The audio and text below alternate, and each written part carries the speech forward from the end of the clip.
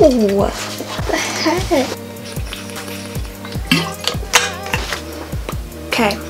Hello everybody, welcome back to my channel, or if you're new here, welcome to my channel. My name is Ashley. Um, that's basically all you need to know about me for this video. Today we are going to be talking about advice for like going into high school or if you're already in high school, just general survival tips. I knew I wanted to do a high school advice video but I was trying to figure out a way to make it like interesting and like spice it up a little bit. So what I decided to do is to reach out to my friends and ask them what they wish they knew either going into high school or just while they were in high school. So these are all tips from my close friends, which are all just the sweetest people and I love them dearly. Um, so you should definitely take this advice. So I have my little typed up document. These are not all the tips that my friends told me, but just some of them. I think I'm gonna make a part two. Let me know in the comments if you think that's a good idea. A little bit about me in high school. Um, I flew under the radar, definitely. I didn't have that many friends and I wasn't in a ton of like extracurriculars. I was in a few clubs, especially towards the end of high school, but I kind of just didn't do much. I went to two homecomings, I went to prom, um, I didn't really go to football games. It just wasn't my scene and I didn't really feel the pressure to kind of conform and do all the high school things. I did my own thing and I was also super busy with academics and AP classes and then I also danced competitively for three out of the four years in high school. So I was busy doing other stuff. I wasn't really like concerned about socializing. Um, that's just me though, you can do what you want. But I definitely was not popular like by any stretch. I just, like I said, flew under the radar. I had my little group, stuck to my group, did my thing. I was happy, I survived. Was not the best four years of my life, but you know what? Anyone who says it is, I don't trust them.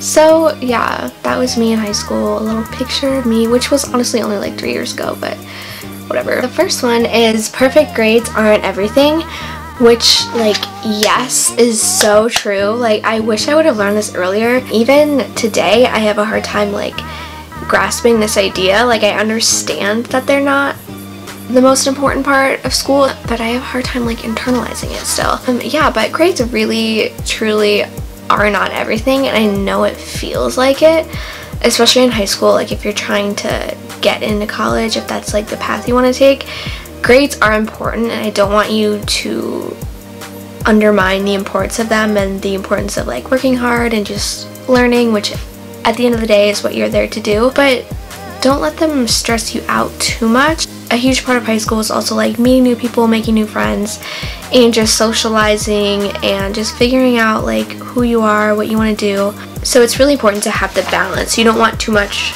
socializing, but you also don't want to um, do school, and that's basically it. So the second one is find people who empower you, which I love. I love the word empower, first of all. I think it's just a general rule for life. Find people who really make you feel good and don't worry all about being in like the popular crowd because that doesn't really matter. It only matters like if you make it matter in your head, if that makes sense. Because um, especially after high school, I mean, nobody's gonna remember you except for like the people you hung out with. So you may as well hang out with people who you love and who love you and who support you and are going to be there for you on the other side of your obstacles when you're going through a hard time. So the third one is to make mistakes because that's the time in your life when you're supposed to do a lot of learning and growing. And I completely agree with this because when you're 14, 15, 16, you're gonna make mistakes, you're gonna screw up, you're gonna do stuff that you regret and stuff that you kind of just wish never happened. I think ultimately not being too hard on yourself is the goal of this one because we're all gonna screw up. Even when you're out of high school and you're in college and you're like off in the real world doing your thing, you're gonna screw up and you're gonna make mistakes. And that's really the whole point of life is to screw up and then learn from your mistakes and grow and improve. So, especially in high school, I don't think people give themselves the grace to mess up, but I mean, it happens. As long as you learn and you grow, that's all that matters. The fourth one, which I also love, I love all these, but um, this one says, relationships formed in high school might not last forever, but it's worth it because you meet people you form bonds with for a reason. That is so true. Even like outside of high school, you meet people for a reason. And I personally believe this. Even if someone you meet seems insignificant in your life, chances are you have learned from that bond and that relationship, whether it was like romantic or friendships or family members, and whether those relationships have like lasted a long time or they have not gone well. They have ultimately served you and served your life so that you can continue on. They might not last forever, they definitely have helped you and they're there for a reason. The fifth tip is to ask your counselor questions which I definitely did not take advantage of, but I kind of wish I would have. First years of high school, I didn't have a great counselor, and then the last two years, I had a better counselor, and he was helpful, and I wish I would have had that like freshman year, sophomore year. This is a really good tip because at the end of the day, they're literally there to help you. Like that is why they're there. So you may as well take advantage of it. And something my friend added onto this one too is that you can email them if your preferred method of communication is writing. I think it's like good to kind of put yourself out of your comfort zone and maybe eventually meet with them in person. But if you're just scared of that initial like breaking the ice, I think they'll be really excited if you contact them. Even if it seems like something silly and insignificant, it can really help to have a neutral point of view to help you figure out like whether it's with classes or scheduling or just college stuff they're there to help you. So you may as well take advantage of those resources. The next one is to not feel pressure to go to like school events more specifically homecoming and prom. I can relate to this one. Um, i went to two homecomings and then i went to prom. I honestly don't feel like I missed out by not going to two homecomings. I definitely wanted to go to prom, but then homecoming was kind of like, I didn't get like super stoked for it.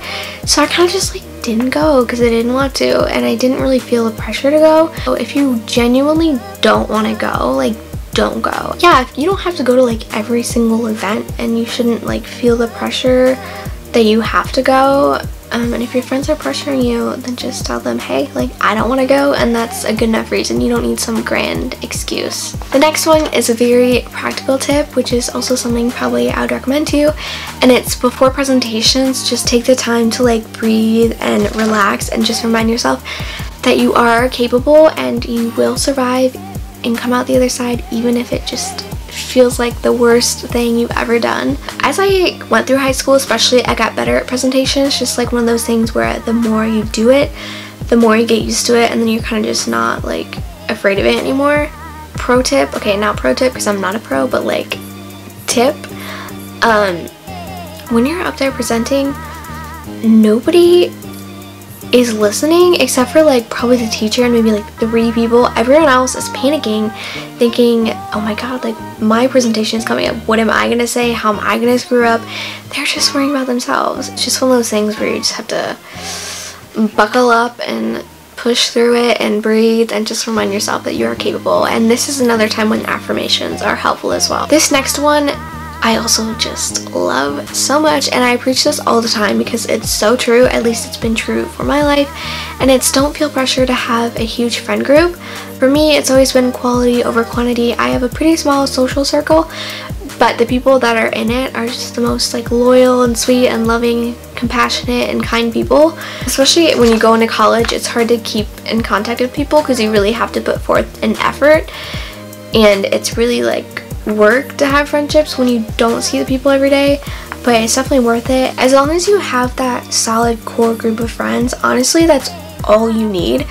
The next one is don't worry so much about tests and presentations especially when you know you're gonna do well and I can relate to this so much because I have this thing where I like over study for tests and presentations because I feel like I'm not gonna do well even though I know deep down I'm gonna do fine just know that if you have tried your best if you've put in the work and if you know the information then you're gonna do fine and even if you mess up a little bit, it's not going to affect the rest of your life. Sometimes you will work hard and you won't do well. It's important to understand that the rest of your life will not be determined by any single thing. So that is everything I have for you today. Like I said, my friends are just the best and they have the best advice always for me and now for you. I hope this helped you in some way, whether you're going into high school or you're in high school already or even if you're just like living life and you're not in high school, I think this is just good life tips in general. Yeah, don't forget to like and subscribe if you want to see more videos from me. And also check out my Instagram. I'm on there a lot more than like any other of my social medias. So if you want like updates, like live updates, stories, and then I also do my really long captions. Um, feel free to join me over there. That's where I hang out most of the time. Thank you for watching, and I will see you next time